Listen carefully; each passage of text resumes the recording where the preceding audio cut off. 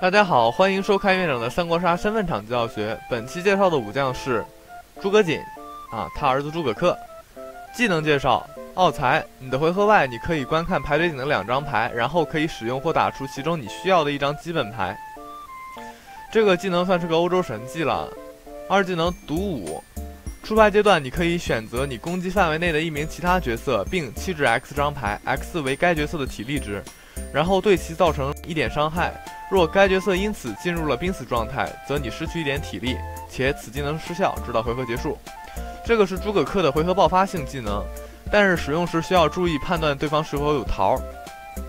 当你手牌充足的时候，你可以通过不断的独舞来打出你的输出。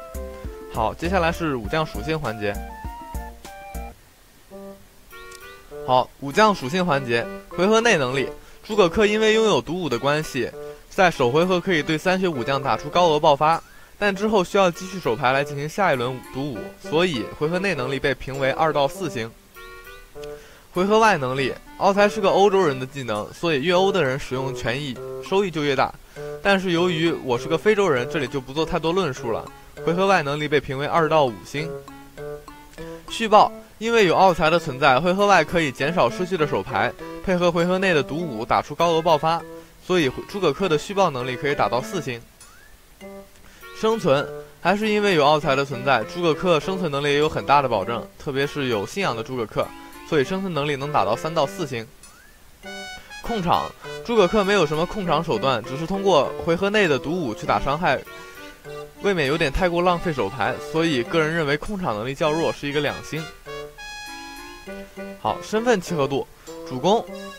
诸葛恪可以在首回合打出爆发，所以在使用主攻的时候可以率先盲狙击杀反贼，从而导致反贼方在不知情况下的时候减员。当然也有可能因此盲死忠臣而获内奸，导致整个局势崩盘。因为拥有奥才的回合外防御，也不是很害怕被集火。总的来说的话，还是非常适合当主攻的。忠臣，诸葛恪在独舞爆发结束后会导致一个没有手牌的情况。而作为忠臣，可以击杀反贼，恢复手牌，所以诸葛恪是个非常适合当忠臣的武将。反贼，作为反贼的诸葛恪可以快速配合队友击杀主攻，也可以通过击杀忠臣和内奸来导致主攻方减员，所以也是一个非常适合当反贼的武将。内奸，作为内奸的诸葛恪可以通过奥才有效的保存实力，等待独舞收割，所以也适合当内奸。好，武将配合，因为独舞需要消耗手牌，像曹睿、刘协这样的给牌型武将非常适合诸葛恪，而大师可以在诸葛恪独舞一波后挪动手牌，为其回复手牌，也是一个不错的组合。克制武将，诸葛恪因为独舞的强行伤害，克制诸葛亮、张春华、SP、赵云这样的血少、防御高的武将。被克制武将。诸葛恪的奥才不是锁定技，所以会被金马超这样的沉默类武将克制，而吴国泰、华佗、曹植这一类武将可以让诸葛恪的独舞不敢轻易使用。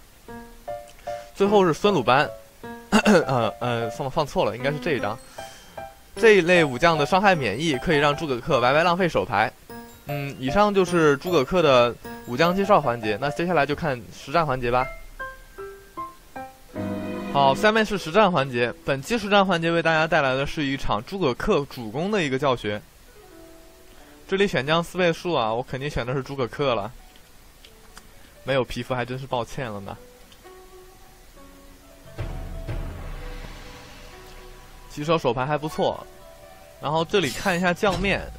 我当时想的左右两个我肯定要独舞一个，对吧？当时想了一下，张新才可能还跟我有点配合，所以张新才这里先。没有想去动他，所以说这个张角，对吧？你走远了。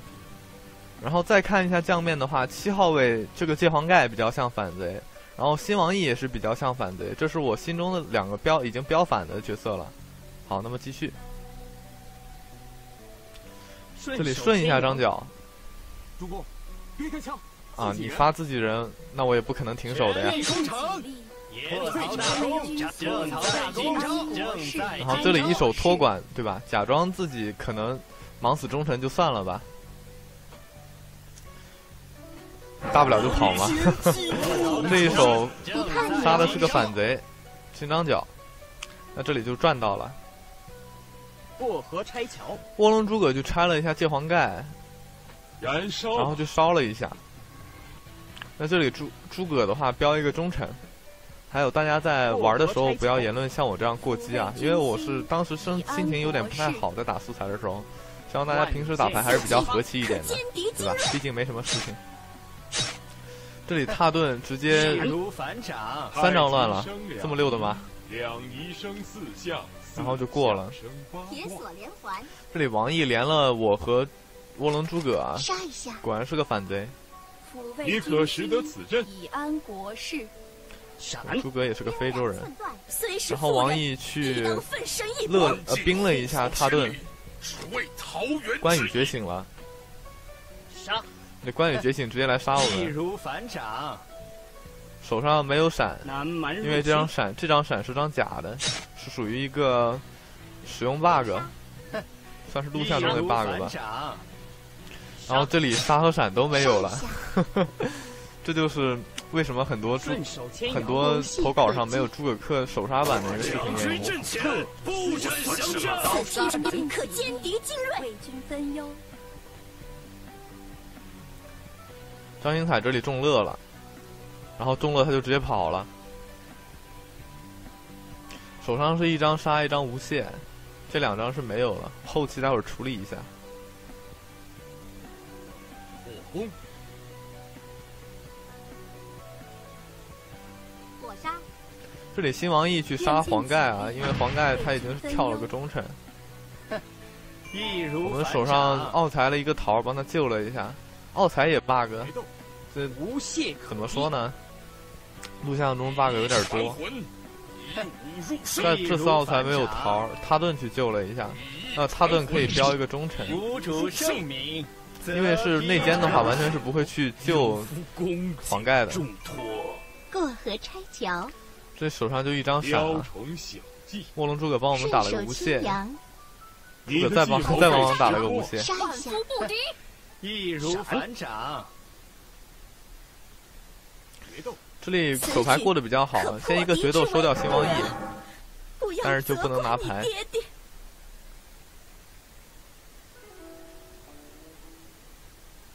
顺手牵受羊，这里他顿双顺，应该没什么问题你的。计谋被识破了，火杀，火杀一刀，再集一个乱。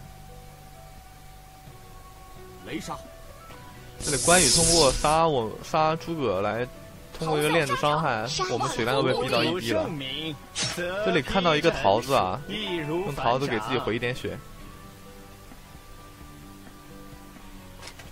装备青龙焰刀杀关羽一下，过。本来是想杀中的话就直接毒无死，这个是我正常思路。这波诸葛打的比较累啊，还要同时控两边控两边场。这个他盾也非常会玩通过青红剑来双杀。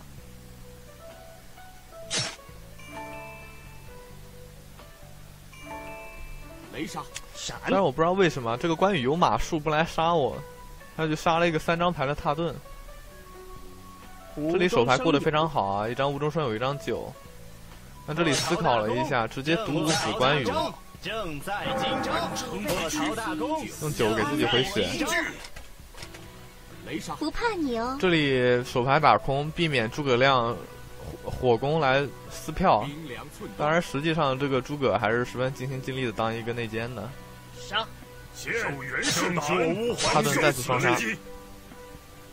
过河拆桥，这里我们两张杀，先利用青龙偃月刀直接收掉张星彩。无中生有，刚才刚才判断出来，诸葛卧龙诸葛手上没有没有桃了，所以我们直接一个毒舞收掉诸葛。全力攻城，那就到这里斩，好，接下来是第二场。第二场是一场反贼的第一视角，首先也是选将四倍速吧。这里主攻选了个邓艾啊，正好诸葛恪面对这种邓艾失牌武将的话，也是比较占优势的。骑手手牌忘记换了，当时好像是点了个不小一不小心点了个取消，铁索连环，不过应该也没什么问题，有一把刀，还有一个雷杀，应该还行，对吧？毕竟靠信仰防御。这里骑手华佗跳了一个反贼，钟会去忙了一下四号位，那钟会也是个反。这里四号位吃了个桃过，无中生有，我惹你们了吗？这里赵云也去打了一下四号位，那赵云也标一个反贼。那这里我也是个反贼的话，这个情况下我就直接把徐胜收了吧。全力攻城，雷杀，这里先毒舞，再一张雷杀，不用让自己卧血。龙出山，别动，雷杀，曹仁往下忙，这时候我就看出来有点蹊跷了，你知道吧？那这里可能三号位、五号位中一个是内奸，一半入我手。铁索连环，这里邓艾去连了一下我和七号。南蛮入侵，华佗放 A，其实这里这里不这里不用放 A 的，易如反掌，信仰比较好，一张雷一张火杀，然后邓艾囤了个田。整个情况的话，反贼现在比较占优势。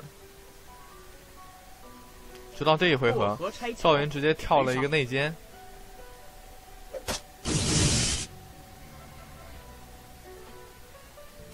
这里过得还行，一张无中生有。那这里我们直接把自己最大的输出发挥出来，去，打元素，延退者斩，让华佗试一下华佗让我们捞一下，对吧？还是说我们还能活的骑兵列队，曹仁没有拿到杀都得听我的号令。开始突围，准备突围了易。如反掌，这里我的奥才看到了一张桃，所以我示意华佗对吧？只用一张桃。这个这种时候还是跟队友交流一下会比较好。我手，火杀，哎呦，这里华佗没有，因为没有那个闪了，所以直接被打到一血，而且手棒还没红牌。任你横行霸道。曹仁这里帮华佗打了一个无懈，华佗把血抬回来了。过河拆桥，这里钟会拆了古定刀啊，然后杀了一刀袁术。这里赵云非常运气不好，招了个雷然后我一个奥才发现他有个桃儿，在何处？非常棒，仰是天朝个桃儿美滋，滋。三两生天下这里赵云竟然是个忠臣啊，我也是万万没想到啊。可能这个赵云平时身份场玩的比较少，不太会看局势吧。杀闪杀这里曹曹仁还去嘲讽一下邓艾。这里华都添过了一张乐不思蜀，那这里反贼应该是稳了。杀闪钟会杀了一刀袁术，乐不思蜀，休整片刻过，河拆桥，且待我杀出一条。曹仁过河拆，桥，拆了八卦阵然后无中生有。过河拆桥，那无懈是在我们这边的，杀闪很尴尬。曹仁两张拆的话，没有拆到，没有拆到那个闪，汗滴，可能运气比较差吧则披臣属。这里我们手牌还是 bug 了，这个火杀应该是没有的，我手，半入我只有。后期还是要处理一下。早睡早起，华佗帮我们奶了一口啊，这里取胜已经是时间问题了。杀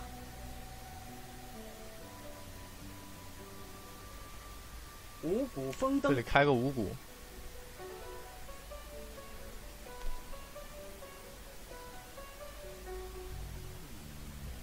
无懈可击。